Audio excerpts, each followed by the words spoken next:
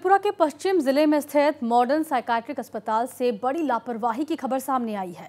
बीती रात यहाँ से 15 मानसिक रोगी शौचालय का शीशा तोड़ भाग निकले। इस घटना के बाद सुबह तक अस्पताल प्रबंधन को इस बात की भनक तक नहीं लगी। सुबह मरीजों की गिनती के दौरान 15 रोगी कम पाए गए। खबर के फैलते ही अस्पताल प्रशासन में हड़कम मच गया। मामले पर कार्रवाई करते हुए पुलिस ने पाँच मरीजों को तो पकड़ लिया वहीं बाकी के रोगी अभी भी लापता है।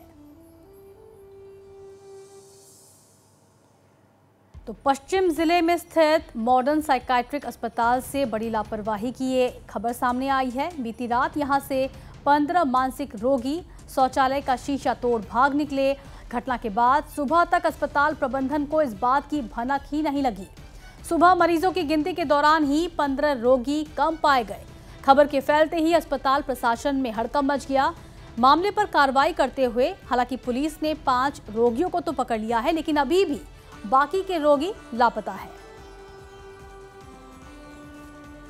গতকালকে আহ, কিছু পেশেন্ট আমাদের হসপিটাল থেকে পালিয়ে গেছে চোদ্দো থেকে পনেরো জনের মতো আর আমি তো এখন জানতে পারলাম যে কিছু পেশেন্ট ফিরে এসেছে ওটা তো বলতে পারছি না কিন্তু পেশেন্ট যখন আমরা খবর পেয়েছি যে পেশেন্ট পালিয়ে গেছে তখন তো থানাকে ইনফরমেশন দেওয়া হয়েছে। তখন আমি সঠিক বলতে পারছি না কি নিজেরা থেকে এলো নাকি পুলিশ নিয়ে এলো? শুনলাম যে ওরা টয়লেটে জানালা ভেঙে পালিয়ে গেছে।